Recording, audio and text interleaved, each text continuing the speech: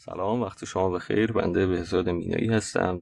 در خدمت شما هستیم با آموزش روش بهترین بدترین از مجموعه آموزش های فرادرس همونطور که می‌دونید روش بهترین بدترین از جمله روش های تصمیم گیری چند معیاره هست و در این آموزش در خصوص مفاهیم پایه‌ای این روش و همچنین کاربرد این روش در مسائل تصمیم گیری صحبت خواهیم کرد.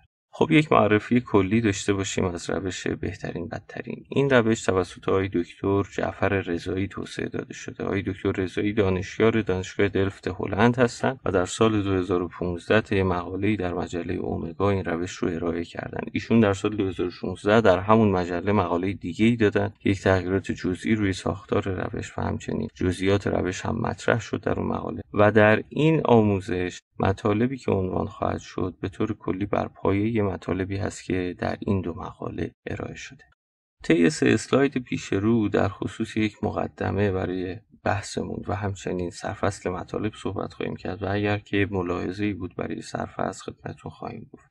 توی بخش نخست کلیات و یادآوری رو خواهیم داشت. در این بخش دستبندی مدل های تصمیم گیری رو خدمتتون میگیم و جایگاه روش BWM رو توی این دستبندی مشخص می‌کنیم. بعد از اون حالا شباهت ساختاری این روش با سایر روش ها رو میگیم و در نهایت یک یادآوری و توضیحات پایه‌ای خواهیم داشت. برای اون دسته از دوستانی که شاید تکنیک های دیگر تصمیم گیری چند معیاره رو نمی‌شناسن یا کار نکردن از این باب که هم کلام بشیم در جریان آموزش. در بخش دوم روش بهترین بدترین به طور کلی ارائه خواهد شد و در نهایت با مثال کاربردی و مثال آموزشی در است این روش رو توضیح خواهیم داد که یادگیری حاصل بشه.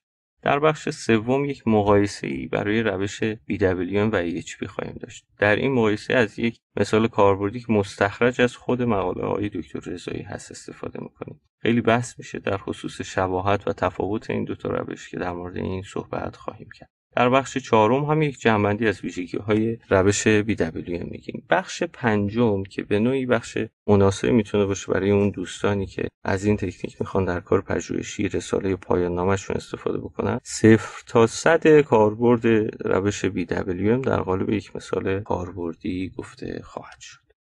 به عنوان یک مقدمه می‌خوایم در خصوص مفاهیم پایه‌ای بحثمون صحبت بکنیم. اولی مفهوم تصمیم گیری هست. کمی به مفهوم تصمیم گیری فکر بکنیم. اگر بخوایم یک تعریف کلی برای تصمیم گیری ارائه بدیم این تعریف می‌تونه تعریف مناسبی باشه. تو این تعریف گفته میشه که تصمیم گیری یک فرایند شناختی هست برای انتخاب یک گزینه از میان یک مجموعه از گزینه ها اینجا گفته تصمیم گیری یک فرایند شناختیه. منظور چیه؟ در قالب یک مثال مطرح بکنید فرض بکنید که شما لباسی رو می‌خواید بخرید. لباس نوع A, B و C گزینه های شما هستند. مجموعه گزینه های شما. از بین اینها باید یک لباسی رو تصمیم بگیرید و انتخاب بکنید. به صورت ضمنی یک سری از معیارها از جمله زیبایی از جمله رنگ و از جمله حالا ویژگی های ساختاری و ویژگی های پارچه اون لباس و اینها در ذهنتون باشه و یک تصمیم گیری رو انجام بدید. به این میگن تصمیم گیری. حالا ما در مورد تصمیم گیری چند معیاره صحبت خواهیم کرد. مفهوم تصمیم گیری چند معیاره چیه؟ ما نمی‌خوایم با کلمات بازی بکنیم صرفا برای اینکه یک ساختار مشترکی در ذهنمون وجود داشته باشه و با اون جلو بریم. برای تصمیم گیری چند معیاره گفته میشه که یک مسئله تصمیم گیری چند معیاره مسئله که تصمیم گیرنده باید بهترین گزینه رو از میان باز هم مجموعه ای از گزینه ها انتخاب بکنه منتها این بار با در نظر گرفتن یک سری معیار با اسمش هم مشخص تصمیم گیری چند معیاره. با یک مثال کار رو جلوتر ببریم. فرض بکنید که شما می‌خواید یک اتومبیلی تهیه کنید یک خودرویی رو بخرید. خودرو نوع A, B و C رو دارید. و می‌خواید تصمیم بگیرید کدوم خودرو رو انتخاب بکنید. خب برای این انتخابتون برای این تصمیم گیریتون ممکنه که چندین معیار رو در نظر بگیرید. به طور مثال ممکنه قیمت یکی از معیارهای شما باشه ممکنه سرعت معیار شما باشه ممکنه امنیت یکی از معیارهای دیگهتون باشه و ممکنه حالا مجموعی از معیارهای دیگر رو هم داشته باشید. فرض بکنید که با همین سه معیار می‌خوایم تصمیم بگیریم که کدوم خودرو رو انتخاب بکنیم. طبیعی وضعیت هر خودرو رو نسبت به هر معیار مشخص می‌کنیم و در نهایت مجموعه ای از داده ها خواهیم داشت که این داده ها رو باید تحلیل کنیم و نهایتا بعد از تحلیل به این می‌رسیم که به طور مثال خودرو نوع B انتخاب شد به عنوان بهترین گزینه ما. پس این هم تصمیم گیری چند معیاره. این دوتا مفهوم مرور شد با این هدف که به نوعی یک فصل مشترکی بین اینها پیدا بکنید. در این حال تفاوتش رو هم بهش آگاه باشید. تفاوتش شاید این باشه که اینجا ما معیارها رو می نویسیم و به طور دقیق دادش رو جمع می‌کنیم و تحلیل می‌کنیم. اینجا به صورت ضمنی توی تصمیم گیری کار رو انجام میدیم. اگر بخوایم یک مقدار بحث رو جلوتر ببریم می‌تونیم در مورد علوم تصمیم گیری به صورت کلی صحبت بکنیم و مقدمه ما تکمیل میشه. وقتی میگیم علوم تصمیم گیری یا decision science توی علوم تصمیم گیری دستهای مختلفی از متخصصین ممکنه کار بکنن. ممکن متخصصین تحقیق در عملیات توی این حوزه کار بکنن. یا ممکن روانشناسان کار بکنن. یا ممکن جامعه شناسان توی این حوزه کار بکنن. هر دسته از این متخصصین یک الگو و یک مدل ذهنی دارند و بر مبنای اون یک هدفی دارند که وقتی در حوزه علوم تصمیم گیری کار می‌کنن مبنا بر اون هدف مقالات یا کتاب های منتشر می‌کنن و صحبت می‌کنن. به طور مثال متخصصین حوزه تحقیق عملیات ممکن تکنیک های مثل AHP, BWM, تاپسیس و قصل آزار رو منتشر بکنن یا روانشناسان یا جامعه شناسان مباحث پایه‌ای تر رو مطرح بکنن. یک سوالی اینجا مطرح هست. آیا اگر ما بیایم دستبندی بکنیم به طور مثال بگیم یک دسته این افراد هستن یعنی متخصصین تحقیق عملیات و یک دسته هم در نظر بگیریم روانشناسان جامعه شناسان که بیشتر مباحث پایه‌ای رو مطرح می‌کنن. آیا کارهایی که این سمت میشه و کارهایی که این سمت میشه شبیه به همه؟ آیا فصل مشترکی داره؟ آیا دسته متخصصین تحقیق در عملیات آگاه هستن از کارهایی که این دسته انجام داده؟ چون در مقدمه هستیم صرفا اشاره بکنم که روش BWM به نوعی انگار که فصل مشترک اینها رو پیدا کرده. از این دسته یک مقداری نزدیک شده به این دسته و در تکنیک می‌بینیم و بحث می‌کنیم وقتی داریم مفاهیم پایه‌ایش رو میگیم که انگار از مفاهیم پایه‌ای که توی مباحثی که روانشناسان و جامعه شناسان مطرح می‌کنن استفاده کرده. بعد از مقدمه در بخش نخست کلیات موضوع رو خدمتتون خواهیم گفت و یک سری از مباحث مرتبط با مفاهیم تصمیم گیری و تصمیم گیری چند معیاره رو یادآوری خواهیم کرد.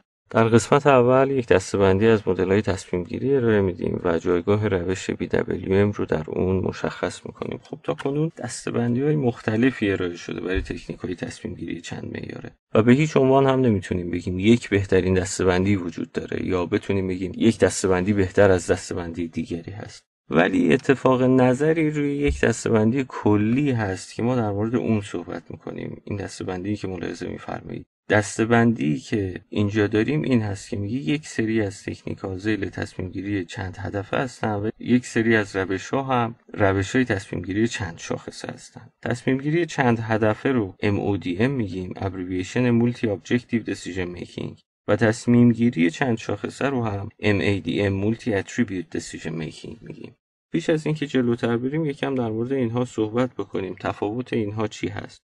در مورد MODM اگر بخوایم بگیم یا تصمیم گیری چند هدفه مشخصه بارز این روش های زیل این دسته این هست که فضای جواب مسائل مربوط به این دسته پیوسته است به چه معنی؟ فرض بکنید یک مسئله ای رو داریم که با یک سری محدودیت محدود شده و در نهایت ما می‌تونیم فضای جواب اون مسئله رو در یک فضای دکارتی مشخص بکنیم به طور مثال سه محدودیت داره و می‌دونیم که جواب هم در ربع اول فضا اتفاق میفته فضای جواب ما در نهایت اینجا خواهد شد. این فضا یک فضای پیوسته است و جواب اون مثلا هم تو این فضا اتفاق میفته بنابراین متوجه شدیم مسائلی که زیل این دستبندی هستن همچین ویژگی دارن. ولی حالا در مقابل برای مسائل یا حالا تکنیک هایی که زیل MADM دستبندی میشن اینطور میگیم که فضای جواب مربوط به اون مسائل گسسته است. به چه معنی؟ اون مثالی که توی مقدمه مطرح کردیم مثال انتخاب یک خودرو از میان خودروهای دیگه که اومدیم یک جدول تصمیمی رو مثال زدیم گفتیم خودرو نوع A, B, C و یک سری کرایتریا داشتیم که حالا نام بردیم. اینجا نیازی بهش نداریم. این گزینه هایی که می‌خوایم از بینش یکی رو انتخاب بکنیم می‌خوایم یک تصمیم گیری انجام بدیم میشه فضای جواب ما. یعنی اینکه یا گزینه خودرو نوع A یا خودرو نوع B یا خودرو نوع C. فضای جواب کاملا گسسته است و در نهایت هم فرض بکنید که این خودرو انتخاب میشه به عنوان بهترین انتخاب با هر تحلیل و هر روشی. چیزی که مطرح هست پس تفاوت بین این دو تا دسته بندیه و سوالی که الان پیش میاد اینه که تکنیک BWM جزو کدوم دسته است؟ توی مثال ها خواهید دید و بحث هم خواهیم کرد که این تکنیک جزو روش های تصمیم گیری چند شاخصه هست. یعنی در نهایت می‌تونیم بگیم تکنیک BWM یا روش بهترین بدترین جزء MADM ها هست. ولی به طور کلی توی مقاله هم که آقای دکتر رضایی مطرح کردن. BWM رو زیر مجموعه MCDM دونستن. یعنی قائل به این نبودن که توی دستبندی خاصی قرارش بدن. در ادامه در خصوص شباهت ساختاری روش BWM با سایر روش ها می‌خوایم صحبت بکنیم. خیلی بحث شده که روش BWM با روش های دیگر تفاوت هایی داره شباهت هایی داره. در مورد این صحبت شده که بعضا گفته شده این روش با الهام گرفتن از روش دیگری اومده یا به جای روش دیگری اومده. نه تمام اینها رو بذاریم کنار. بهتره که خود تفاوت ها و شباهت ها رو بدونیم و لازم به تصمیم گیری هم نیست در خصوص اینکه کدوم تکنیک به جای چه تکنیکی اومده. این صحبت ها شاید مناسب نباشه برای تکنیک های تصمیم گیری چند معیاره چون مسئله به مسئله متفاوت هست فضا و شاید توی یک مسئله یک تکنیک مناسب باشه ولی توی یک مسئله دیگری تکنیک دیگری. اولین موضوعی که می‌تونیم مطرح بکنیم اینه که روش BWM بر پایه ماتریس مقایسات زوجی بنا شده. از این می‌تونیم بفهمیم که روش BWM شبیه یک سری از روش ها هست. روش AHP روش ANP و حالا روش دیگری که بر پایه ماتریس مقایسات زوجی هست. این می‌تونه یکی از شباهتاش باشه. موضوع بعدی که می‌تونیم در موردش صحبت بکنیم تعداد مقایسات زوجی این روشه. این روش تعداد مقایسات زوجیش به مراتب کمتر است. روش های دیگری که بر پایه ماتریس مقایسات زوجی بنا شدهاند. به طور مثال توی همین AHP که اینجا مثال زدیم اگر که M رو تعداد معیارها در نظر بگیریم تعداد مقایسات زوجی در حالت کلی با این فرمول به دست میاد. M در M منهای یک تقسیم بر دو. این میشه تعداد کل مقایسات زوجی که از روش AHP به دست میاد. ولی در تکنیک BWM تعداد مقایسات زوجی به این صورت به دست میاد. دو ضرب در M منهای سه. اینجا یک مثال عددی هم می‌تونیم بزنیم. فرض بکنید که 8 تا معیار داشته باشیم. 8 ضرب در 7 میشه 56 و تقسیم بر دو که بکنیم میشه 28 مقایسه زوجی برای H. ولی حالا همون 8 معیار رو اگر بخوایم با BWM بررسی بکنیم دو ضرب در 8 16 منهای 3 میشه 13 تفاوت 28 و 13 خیلی زیاده و اینجا شاید بتونیم بگیم که از نظر تعداد ماتریس هایی که باید داده درش وارد بشه روش BWM وضعیت بهتری داره. شیوه پرسشگری این روش هم به نوعی به خاطر همین موضوعی که الان مطرح شد خیلی راحت تر خواهد بود که در این خصوص ما صحبت خواهیم کرد در بخش پایانی. صحبت می‌کنیم که به چه صورت می‌تونیم پرسشگری بکنیم برای اینکه هم پرسشگر و هم پرسش شونده راحت باشه. به عنوان جمعبندی این مباحثی که اینجا مطرح شد یک مقداری در مورد مفاهیم پایه‌ای روش BWM هم صحبت کنیم. اولین نکته ای که مطرح هست روش BWM از جمله روش های تصمیم گیری چند معیاره در حوزه علوم تصمیم گیری هست. و همونطوری که گفتیم در این حوزه ممکنه متخصصین تحقیق در عملیات فعالیت داشته باشند یا جامعه شناسان و یا روانشناسان. و خدمتتون هم گفتیم هر کدوم با توجه به مدل ذهنی خودشون ممکنه ساختاری از بحث علوم تصمیم گیری رو در نظر داشته باشن و بر پایه اون ساختار اثری رو منتشر بکنن مقاله یا کتابی. و حالا بحثی که بود این بود که گفتیم روش BWM به طور مثال اگر که متخصصین تحقیق در عملیات رو یک دسته بکنیم اینها رو هم یک دسته بکنیم اومده یک پلی زده بین اتفاقاتی که این ور میفته و اتفاقاتی که این ور میفته به چه معنا؟ یک مثال خدمتتون میگم و بر پایه اون مثال پیش بریم.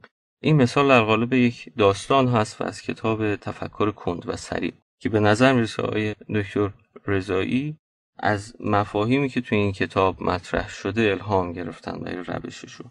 داستانی که مطرح میشه اینه استادی سر کلاس میره دو تا کلاس رو در نظر بگیرید کلاس A و کلاس B که از نظر حالا ویژگی های دانشجویی که تو هر دو تا کلاس هستند این دو تا کلاس همگن هستند استاد میره سر کلاس A و جلوی تخته میسته و به دانشجو میگه من چیزی رو روی تابلو می نویسم شما نمی بینید به محض اینکه من کنار رفتم شما اون چیزی که نوشتم رو می بینید و نظرتون رو در موردش بنویسید. جوابی که به نظرتون می‌رسه رو بدون اینکه محاسبه انجام بدید تحلیلی انجام بدید بنویسید. چیزی که رو تابلو می نویسه اینه می نویسه یک ضرب در دو ضرب در سه ضرب در نه. جلوی تابلو ایستاده و از جلوی تابلو میاد کنار دانشجو یک مرتبه این رو می‌بینن. شما هم الان این کار بکنید بدون اینکه محاسبه بکنید عددی رو که به ذهنتون می‌رسه برای این بنویسید. توی کلاس دیگری هم میاد این کار رو می‌کنه و جلوی تابلو میسته و روی تخته می نویسه 9 ضرب در 8 ضرب در 7 ضرب در 1 و جلوی تابلو میاد کنار و دانشجو جوابی که به نظرشون می‌رسه رو می نویسن در نهایت میانگین جوابهایی که توی این کلاس به دست اومد به طور مثال این عددها صرفا برای اینه که مثال پیش بره. هزار بود و جوابهایی که اینجا به دست اومد به طور مثال سی هزار بود میانگینش.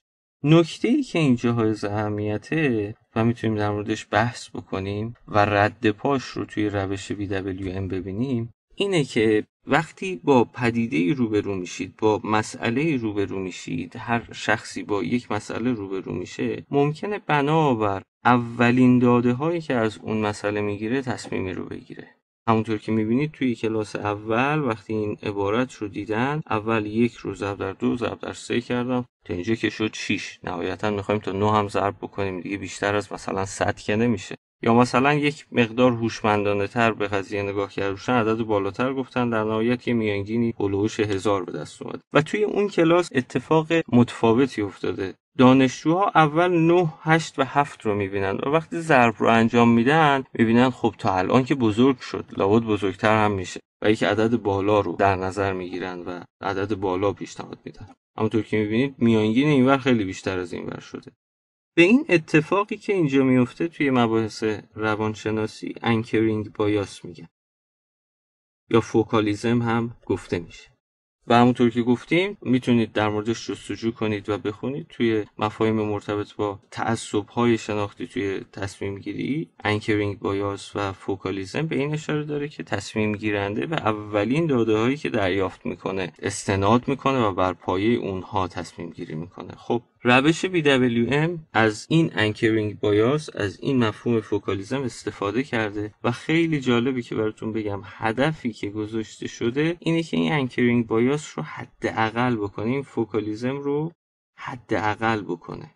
هدف حداقل کردن این هست. و به همین خاطر میگیم انگار که آقای جعفر رضایی با ارائه این روش یک پلی زدن بین روش که توی حوزه تحقیق در عملیات ارائه میشه و توی حوزه های شناختی روی تصمیم گیری کار میشه. در ادامه می‌خوایم یک یادآوری داشته باشیم از مباحثی که مرتبط هست با مفاهیم تصمیم گیری و یک سری توضیحات پایه‌ای رو خدمتتون بگیم. پیش از اینکه روش رو خدمتتون بگیم لازم هست که با این مباحث آشنا بشید. کما اینکه مرور این مباحث موجب میشه یک مقدار هم هم کلام بشیم و در جریان صحبت در خصوص خود روش واژه‌ای نباشه که با اون آشنا نباشید. اول از همه می‌خوایم در مورد تفاوت ماتریس تصمیم و ماتریس مقایسات زوجی صحبت بکنیم. اول در مورد ماتریس تصمیم میگیم. ماتریس تصمیم شبیه مثالی هست که خدمتتون گفتم. توی مقدمه یک مثال خدمتتون گفتم. یک خودرویی رو می‌خواستیم انتخاب بکنیم. بین خودرو نوع A, B, C. و یک سری معیار داشتیم و در نهایت می اومدیم وضعیت هر کدوم از گزینه ها رو طبق معیار توی اینجا می نوشتیم و یک ماتریس تصمیم اینجا برامون به دست می اومد. اگر که خاطرتون باشه گفتیم یکی از معیارها به طور مثال سرعت یکی قیمته و حالا معیارهای دیگه. مثلا اولی سرعتش 200 کیلومتر بر ساعت بود این 220 و این هم 180 و قیمتش به طور مثال 1000 واحد پولیه 2000 واحد پولیه و 1800 واحد پولیه. تکنیک هایی که ورودیشون یک همچین ماتریسیه. ببینید اینها داده ها وقتی کامل بشن نهایتا یک ماتریس خواهم بود. و تکنیک هایی که ورودیشون این ماتریسه مبتنی بر ماتریس تصمیم هستن. و تکنیک هایی هستن که ورودیشون این ماتریس تصمیم نیست. جور دیگه ای باید باشون تعامل بکنیم. اون تکنیک هایی هستن که از ماتریس مقایسه زوجی استفاده می‌کنیم. ماتریس مقایسه زوجی چیه؟ فرض بفرمایید که توی روش AHP اگر بلد باشید. اگر هم بلد نباشید مسئله نداره. یک ماتریسی داشتیم به این صورت یک هدفی رو اینجا میگذاشتیم و می‌گفتیم گزینه های ما یعنی A, B, C A B C با همدیگه مقایسه بشن. بنا به این هدفه. هدف مثلا همون سرعتیه که اینجا در موردش صحبت شد. سرعت A با A چون اینها متناظر هم دیگن یعنی عملا ارجحیت یکسان دارن عدد یک هست. چرا؟ چون اینها یکی هن دیگه. معنی نداره مقایسه ای انجام بدیم.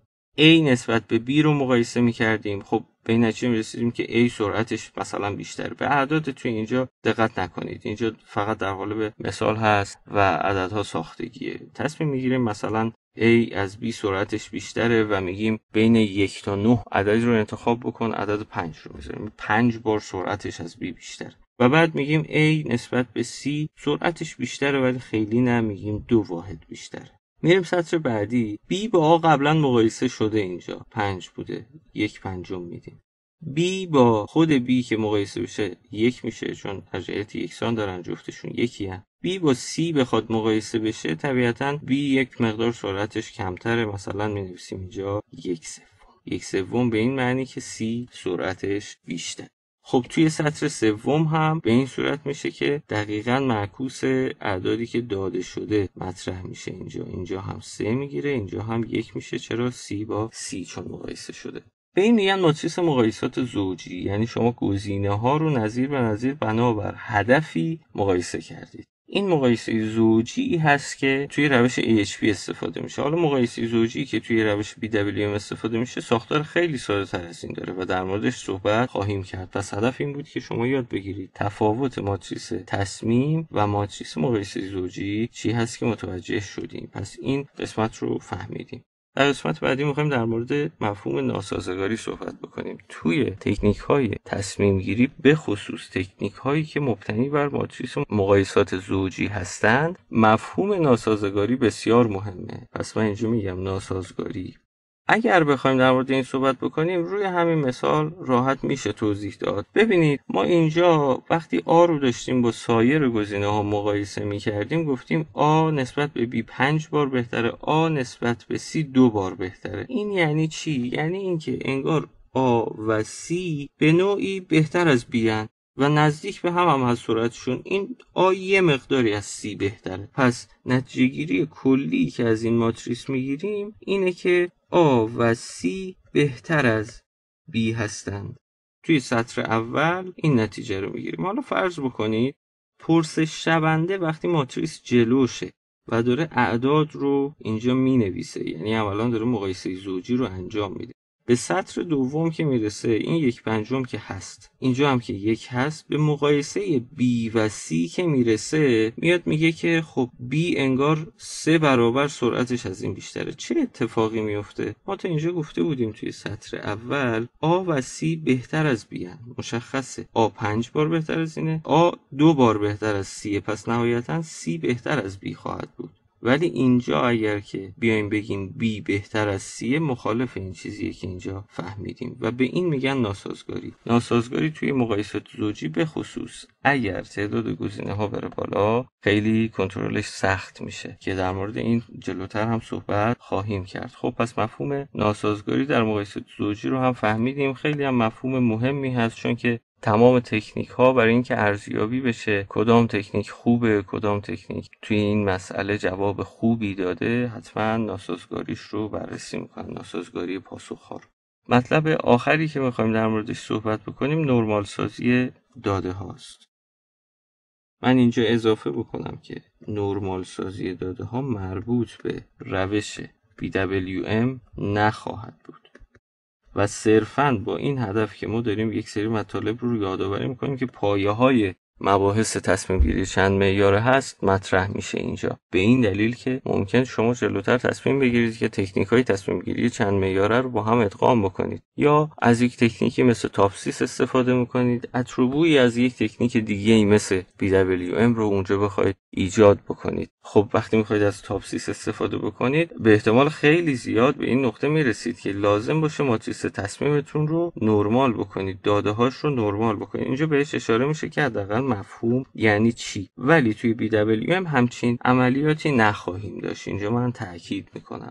ماتریس تصمیمی که اینجا مثال زدیم رو در نظر بگیرید. من بزرگتر بنویسم. برای خودروی A, B, C یک بار سرعت رو نوشتیم و یک بار قیمت رو. سرعت رو که نوشتیم این 200 کیلومتر بر ساعت بود. اینجا 220 کیلومتر بر ساعت بود. و اینجا هم 180 کیلومتر بر ساعت بود.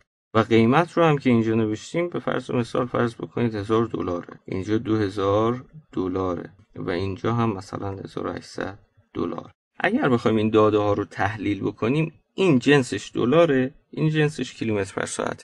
بدیهیه که باید اینها رو یک جنس بکنیم و بعد تحلیل لازم رو روش انجام بدیم و به نتیجه برسیم. تکنیک های مرتبط با نرمال سازی مربوط به این آموزش نیست ولی اگر که علاقمند هستید می‌تونید کتب و حالا مقالات مربوطه رو تهیه بکنید و مطالعه بفرمایید.